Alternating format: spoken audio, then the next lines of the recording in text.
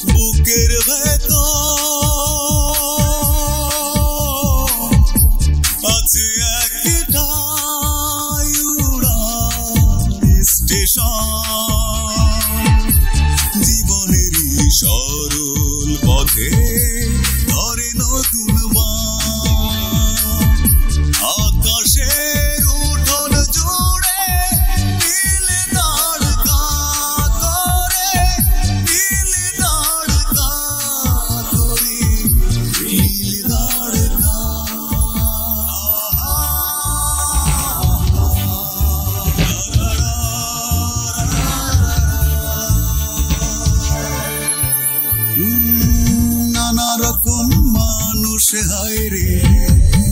নানান পাখি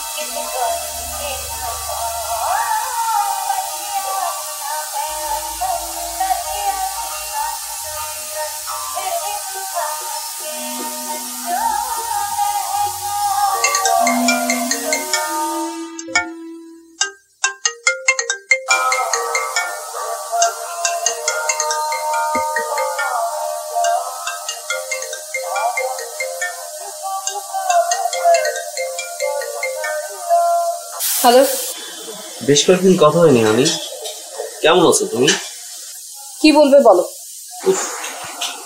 তুমি খুব কাঠখোট্টা মানুষ শুধু কাজের কথা শুনতেছো। এতদিন পর ফোন করলাম কিছু সুখ দুঃখের কথা বলি। তারপর না হয় অন্য কথা।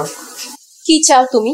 চাও তো অনেক কিছু ডার্লিং ওই যে তোমাকে বললাম না আমার এক বন্ধুর সঙ্গে তোমাকে পরিচয় করিয়ে দিব। বাট তুমি তো রাজি হচ্ছ না। তবে এখন সেজন্য কল করিনি। বলো আমি শুনছি। আপাতত আমার পনেরো হাজার টাকা লাগবে হানি। হোয়াট আমার কাছে কোনো টাকা নেই। ও নো বেবি এটা কি কোনো বিশ্বাসযোগ্য কথা? কোটিপতি মাসুক চৌধুরী একমাত্র মেয়ে নীলা চৌধুরীর কাছে পনেরো হাজার টাকা নেই? এটা তো তোমার একটা ড্রেসের দাম। Rafin for God sake God সে আমার মতো মানুষের সাথে কি ঈশ্বরের সম্পর্ক থাকতে পারে? তুমি কি মানুষ? তুমি তো একটা শয়তান। Yes I am a devil you know devil আমার অনেক পছন্দ। ইজ মাই আইকন রাফিন আমাকে মুক্তি দাও প্লিজ প্লিজ আমি আমি আর পারছি না। শয়তানের হাত কি এত সহজে মুক্তি মিলে মিলা ডার্লিং? আর এটা তো সামান্য টাকা। এতে এত ভেঙে পড়ার কি আছে? Scoundrel thanks for the big compliment okay টাকাটা নিয়ে তাড়াতাড়ি চলে আসো। আমি তোমাকে বললাম তো আমার কাছে টাকা নেই। তুমি বিশ্বাস করো রাফিন আমার কাছে এত টাকা নেই। তোমার কাছে টাকা নেই এটা ব্যাপার না। তাহলে তোমার বাবার কাছে চাও? তোমার বাবার কাছে তো পেতে পারো। আর না হলে তোমার ভাইয়ের কাছে চাও? পাপা দেশে নেই। আর ভাইয়া ঢাকার বাইরে। ও তাহলে তো স্টেডিয়াম একদম ফাঁকা। তাহলে আমি তোমাদের বাসায় চলে আসছি। টাকাটা পরে দিলেও চলবে। আমার এক বন্ধুর সঙ্গে তোমার সাথে পরিচয় করিয়ে দিচ্ছি। সে তোমার ব্যাপারে খুব ইন্টারেস্টেড না না। তোমার আমার বাসায় আসা লাগবে না। এত ভয় পেলে কি চলে? আমি আসছি মিলা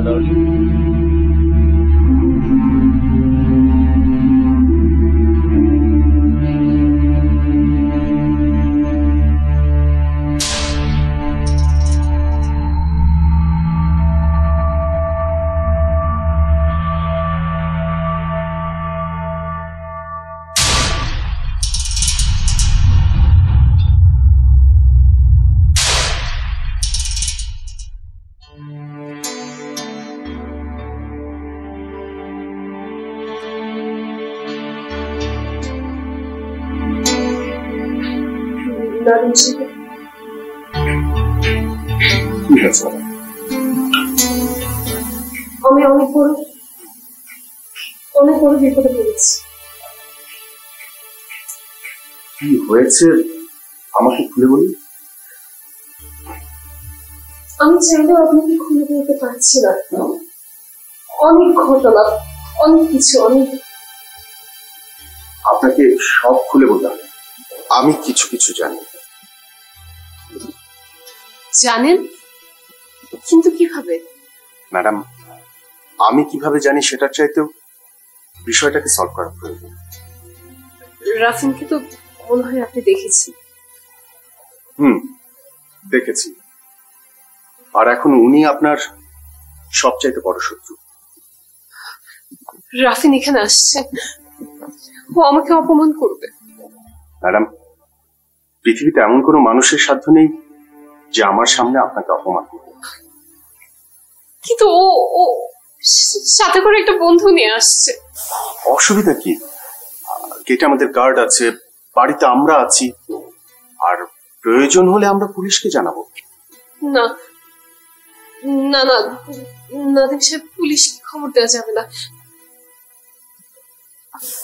আসলে ওর কাছে আমার কিছু ভিডিও আছে। আমরা যদি ওকে পুলিশের কাছে ধরিয়ে দিই তাহলে সে ভিডিওগুলো প্রকাশ করে দেবে আর আমার আর আমার মান সম্মান সব ধুলে মিশে যাবে বিষয়টা তো তাহলে একটু জটিল। ঠিক আছে। আচ্ছা আপনি এক কাজ করেন। ওকে ফোন করে বলেন যে আপনি অসুস্থ অথবা বাড়িতে কোনো রিলেটিভ এসছে। আপনি আজকে নয়, ওনাকে কালকে আসতে বলেন। এর মধ্যে একটা ব্যবস্থা আমরা করে ফেলব। কিন্তু আপনি প্লিজ আপনি আপনি প্লিজ পাপাকে কিছু বলবেন না। পাপা যদি জানতে পারে তাহলে ম্যাডাম আপনি লজ্জিত হন এমন কোনো কাজই আমি করব না। আপনি টেনশন করবেন না একটা না একটা ব্যবস্থা হয়ে যাবে। আর এক কাজ করি টিভিতে আমার এক বন্ধু আছে। ওকে আসতে বলি ওকে একটু খুলে বলতে হবে। না না না না আমি পুলিশের কাছে যাব না আচ্ছা ঠিক আছে। পুলিশ হিসেবে না বন্ধু হিসেবে আসতে বলি, ওর কাছ থেকে সাজেশন নেওয়া যাবে। টেনশন করবেন না, ও ভালো মানুষ।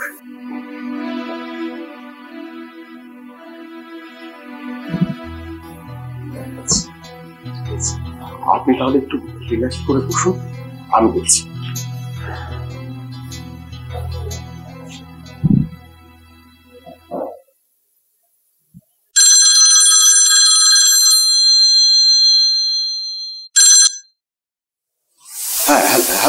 হ্যালো রেজাউল কোথায় তুই বন্ধু আমি গুলশানে। ও তাহলে তো কাছে আছিস। তুই তো আমার বসের বাসা চিনিস তাই না? ওকে বন্ধু আসছি। একটু জরুরি দরকার হ্যাঁ। ঠিক তার থ্যাংক থ্যাংক ম্যাডাম আসছে আমি এই ড্রাইভার গাড়ি ঘুরাও।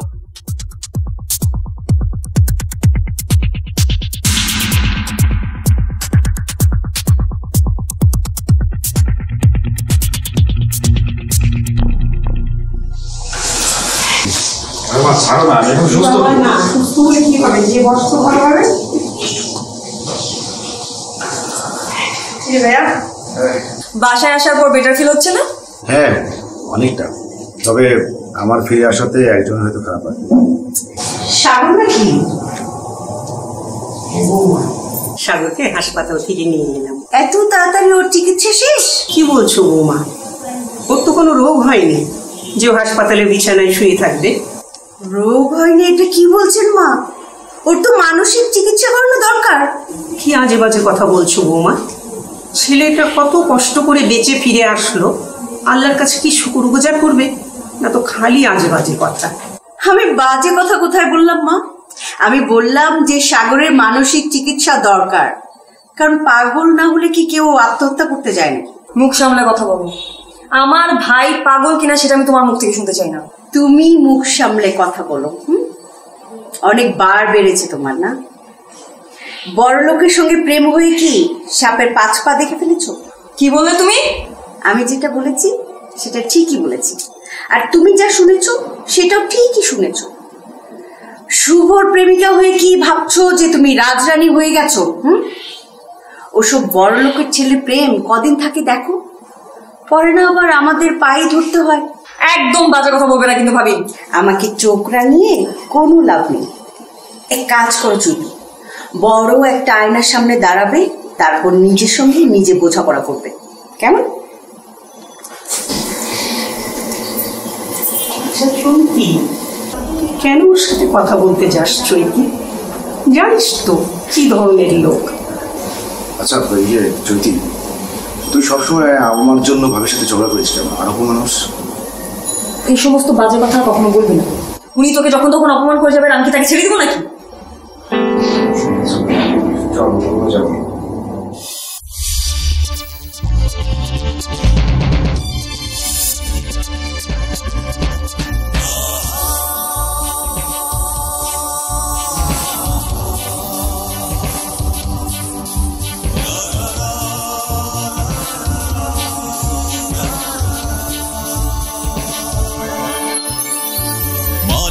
আমি নই তো পাখি, তবুও জীবন।